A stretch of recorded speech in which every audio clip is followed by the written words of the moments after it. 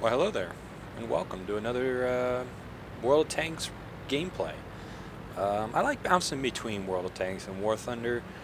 Usually if I'm really feeling tanks and the numbers on the old War Thunder, like Sim and Realistic Q, aren't very high, around like rank 4 or 5, um, I, I usually have a choice. I'll either go to maybe like rank 3 or below, and uh, play some good old favorite tanks or uh, maybe jump into World Tanks for a game or two.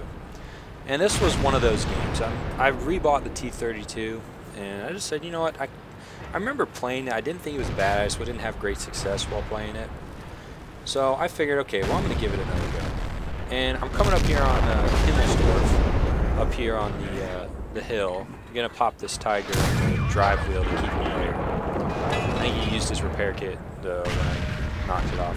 I'm using Gnome, Father, Gnome Father's uh, sound mod, by the way, so that's why everything's sounds I'm gonna pop that Jagdpanther. I'm sorry, Mr. KV-13. I was the. I didn't mean to be. And we're just gonna keep hammering this guy, especially if he wants to bounce up. I like the T-32. It's punchy.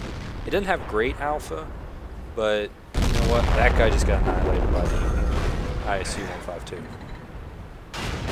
Alright, so I'm looking around the map. I noticed that uh, we're kind of being overrun down there. We got a T-44 yelling for help. And uh, there's just a heavy tank spree down there. We've got this up here pretty much covered. The old, uh, the old hill. We should win this pretty good. We got a bunch of heavy tanks moving around the eastern side of the hill. And uh, they're going to outflank that Tiger 2 and take them down. And I said, okay, well, I can probably just sit up here and use the gun depression to some degree and shoot down on these guys. It's not going to be a great idea because I have a, you know, that is pretty far down there. He's going for the drive wheel there. I thought maybe he was going to back up when he saw me, but I don't think he immediately saw me. Lots of tanks down here. I decided to go for the AMX, but then he, you know, backed away. This guy, get the track shot there. That was good. He's going to shoot. He's going that uh, T-34, I think, is going to shoot up at me. But, um, so yeah, we're getting, um, we're not, uh, not doing so well down there. We're winning 7-3, though, which is nice, because we completely steamrolled the hill. However, we can still lose, because you think about it, the tanks that are back here, if the enemies stick together and uh, wolf pack us, uh, we're going to get wrecked, and then the score will be basically even. However, uh, we have a pretty good shot of winning here, I'm not going to lie. And, uh, you know, done 2,000 damage, minus one. It's pretty good. You know, it's a pretty good game. So I'm, I'm coming down here because I see we have a KV2, a bunch of IS, a couple IS-3s and other stuff just roaring down this road. Mr. T-34, I'll see you next time. Knocked him out, and now I'm going to push, I was going to push around, but I said, well, I'll just wait for reload, and then I realized that he was around the corner and getting knocked, just knocked out. But this has really turned into a rout.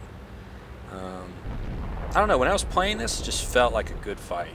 Um, like we had to turn around almost completely. Now they're kind of, to some degree, sandwiched. Uh, those two, the IS-3 and the Caernarvon, or the Caravan, if you want to call it that.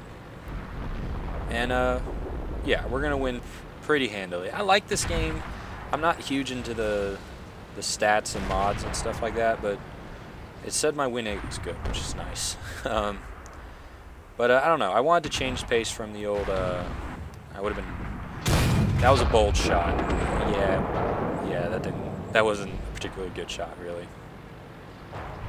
But I don't know. I wanted to share this game just because uh, it just mixes things up, and I haven't had a whole lot of time over the last couple days to um, play the old War Thunder tanks as regular as I want. Holy shit!